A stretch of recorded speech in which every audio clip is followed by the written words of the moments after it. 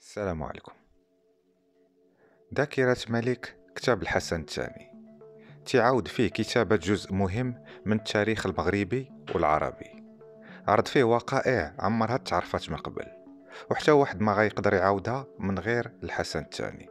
هو اللي عاشها وشارك فيها ولعب جزء رئيسي في الأدوار ديالها هذا إلا ما كانش هو البطل ديال الأغلب ديالها. في هذا الكتاب الحسن الثاني غادي يشخص ويحل رموز اللوحة المغربية المتشبكة وغادي يسردها بطريقة تدعو للإعجاب.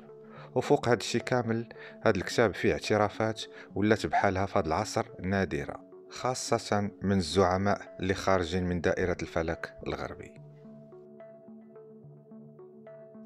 المحاور إريك لورانت يقول تلاقيت بملك المغرب أول مرة في شهر مارس 1992 تلاقيت به بمناسبة واحد الحدث صحفي كنت درتو معاه. وبالرغم أنني كنتابع قضايا السياسة الخارجية من هذه واحد عشرين عام تقريبا إلا أن اهتمامي بالشؤون المغربية كان حتى لهذاك الوقت محدود وكانوا جوج حوايج ما كيتفهموش ليا. الأولى العلاقة المضطربة الغامضة العامرة بالفتور في أغلب الأحيان بين فرنسا والمحمية السابقة المغرب. والثانية شخصية الملك العلوي المثيرة للجدل. مثيرة لدرجة أن في باريس ما فاهمين والو في الشخصية ديالو. وتيشوفوا أنه تيتير في نفس الوقت الرضا البالغ والعداء الممنهج. داكشي علاش أي صحفي نزيه بغى يكتب بموضوعية في هذا المجال لابد باش يطيح في حقل ملغوم. وغادي يجبد على راسو صداع من الجانبين. إما كتوجه ليه تهمة التقاعس أو التواضع. بعد اللقاء ديالي بالحسن الثاني لمدة ساعتين توادعنا وما كنتش عارف باللي الحديث معاه مازال غتكون فيه باقية. حتى لشهر يونيو غيتصل بيا أحد المقربين من ملك المغرب وقال لي خاصك تمشي لإفران عند الحسن الثاني. سير عنده باش تهضر معاه في مشروع الكتاب. في الحقيقة بانت لي الفكرة مغرية وخطيرة في نفس الوقت وحتى الإنجاز ديالها غتكون بالصعوبة بمكان. في إفران الحسن الثاني غيديني معاه في جولة لواحد الحوض ديال تربية الأسماك. مشينا من القصر المبني في وسط غابة أشجار الأرز. مشينا بالطوموبيل كان هو اللي سايقها وكنت أنا جالس حداه. في الطريق العامرة بالفيراجات هدرنا حول الشكل ومضمون الكتاب. وقلت ليه هاد الكتاب راه ما غتكون عنده لا أهمية ولا مصداقية إلا إلا طرقنا فيه لجميع القضايا حتى الشائكة منها. الملك جاوبني وقال يمكن نطرح عليا أي سؤال بغيتي. وقال لي أنه قرأ الكتب اللي كتبت على حرب الخليج وبسببها اختارني.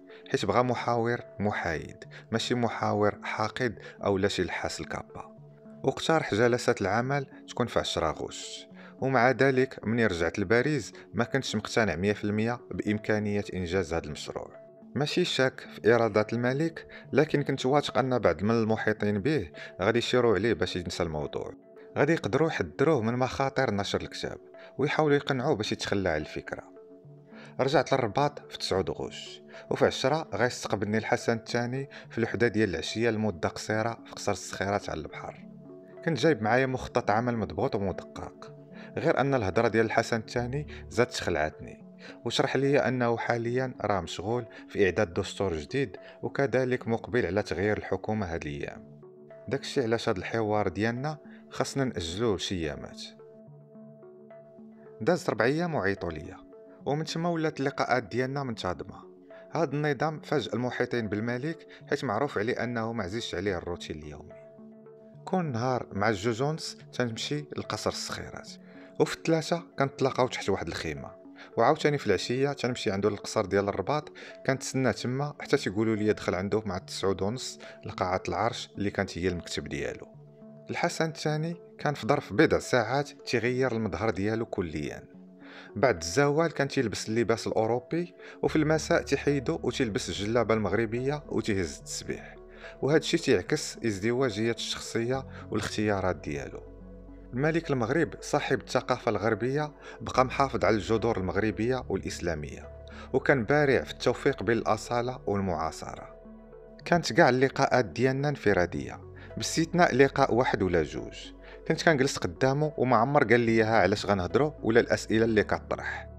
كانت عندي الحرية المطلقة وما عمر تهرب من الجواب على شي قضية ولا اعترضني إلا مرة واحدة اللي كنت طلبت فيه منه باش يرسم لي معالم شخصيات افقير ورد عليا بأنه ما غاديش يقدر يكون موضوعي وغير رسم لوحة رديئة.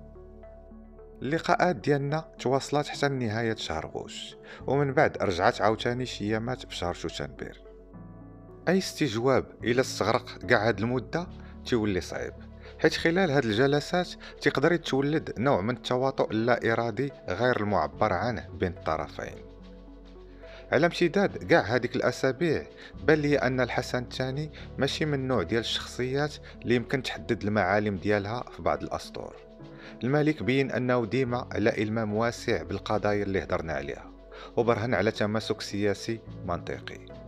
السيد عنده نظرة واضحة وصارمة للدور ديالو وللمستقبل ديال بلادو مرات يتذكر ومرات يعاود ومرات يحلل. وفي الأغلب كان بارع وكان تيحل بيبان كتأدي الكشف عن حقائق مذهلة. داكشي علاش نقدر نقول أن أي رئيس دولة ممارس عمرو وصل للنيفو اللي وصل ليه الحسن الثاني. في هذا الكتاب قدرت باش نطرح كاع الأسئلة اللي كنت باغي نسولو عليها واللي كنشعر بأن من الواجب ديالي نطرحها. سؤال. نتوما يا صاحب الجلالة من مواليد 1929 شنو هي الأحداث السياسية الأولى اللي كان لها واقع في النفسية ديالكم؟ أنا تأثرت بجوج أحداث. الحدث الأول داز في لمحة عين. كان داكشي في 1937 وكانت عندي 8 سنين.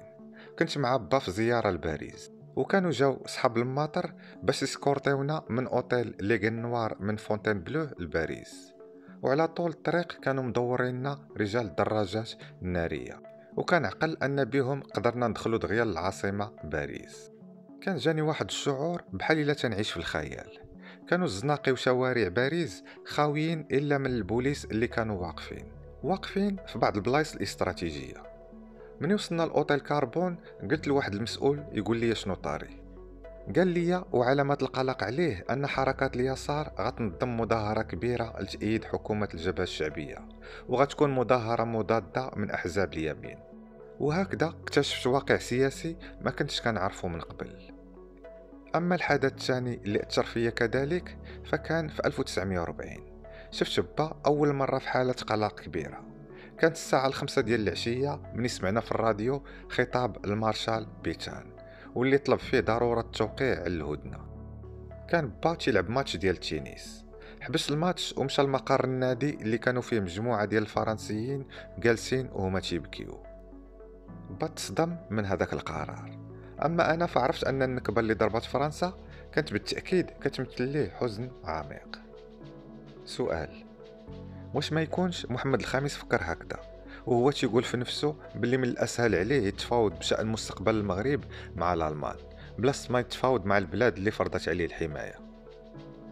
هاد الفكرة اطلاقا كاع ما دارت في رأس الوالد وشفتو من يسمع الخبر دار يديه على راسو وهو كيتساءل.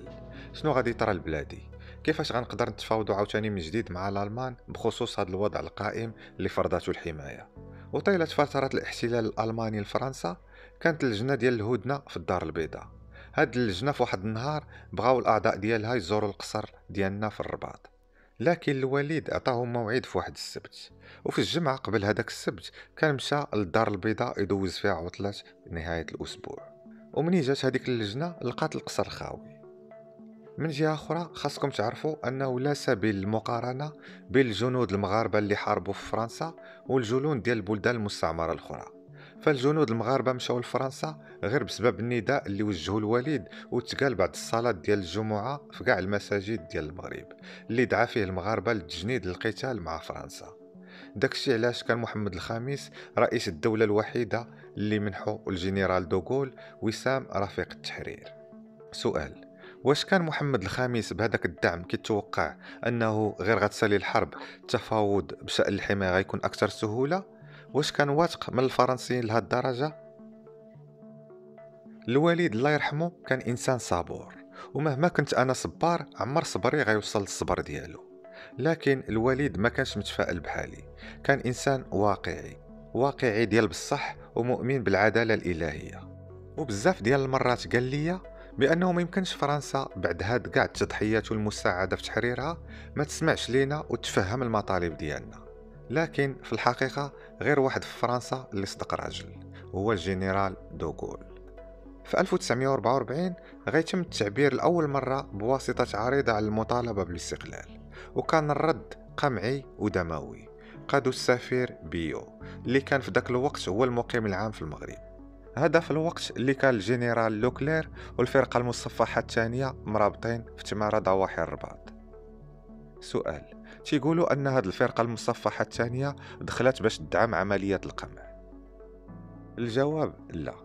هاد الفرقة قاع ما تدخلات حيت بيو اتصل بلوكلير وطلب منه الدعم والمساندة. وكان جواب لوكلير أنا ماشي هنا باش نمارس القمع. زائد أن المغرب استضافنا على أرضه باش ندربوا على الحرب. وعندي بزاف ديال الضباط والتلاميذ في الفرقة ديالي. وهكذا رفض الجنرال لوكلير وعارض باش يشاركوا الجنود ديالو في عمليات الحفظ على الأمن حتى لو كانوا بلا سلاح. سؤال وشنو كان الموقف ديال الجنرال دوغول في 1945 مباشرة بعد تحرير فرنسا سافرنا لها بلا كان العمر ديالي 15 عام.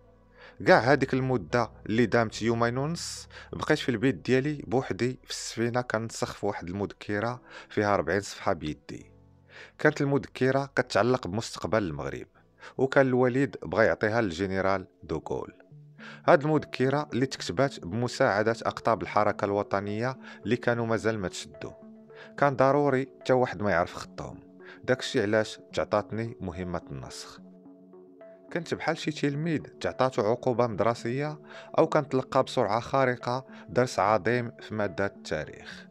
كانت الإقامة ديالنا في قصر تاليران والمعروف بالقصر الوردي في شارع فوش في باريس. تما غادي يعطي الوالد المذكرة لدوغول بعد ما ساليت النسخ ديالها. الجنرال دوغول قال للوالد جلالة الملك في الوقت الراهن أنا غير رئيس ديال حكومة مؤقتة للجمهورية ومني غادا تعطاني المسؤولية ديال الأمور فكونوا على يقين أنني غادي ناخذ الاعتبار لهذه المذكرة. ومع ذلك غادي نبرهن لكم على صدق النية ديالي. طلبتو يا جلالة الملك ثلاثة ديال الحوايج. الأولى باش يمشي الجنرال بيو بحالو وبعد أيام غادي نجري عليه. الثانية بغيتو على الفاسي ومحمد بن الحسن الوزاني يرجعوا من المنفى ديالهم. وأنا تنوعدك أنه بعد أسابيع غادي يكونوا عندك. أما الثالثة فطلبتو إطلاق سراح الحاج أمين الحسيني. مفتي القدس بعد ما تعامل مع الألمان طول كاع الحرب. الوالد غايقول ليه أنا ما تنعرفوش شخصيا لكن هو ولد عمي والمكانة ديالو الدينية مرموقة وفرنسا ما عندهاش شي مصلحة تعاقبه داكشي علاش تطلب منكم تعفو عليه والجنرال دوغول رد عليه لكم ما طلبتم جلالة الملك. سؤال واش كتعتقدوا أن المغرب كان غياخد الاستقلال ديالو بالزربة؟ كون بقى دوغول في الحكم. هذا الشيء إن شاء الله غادي نشوفوه في الحلقة المقبلة. دائما الخبر في راسكم تحياتي.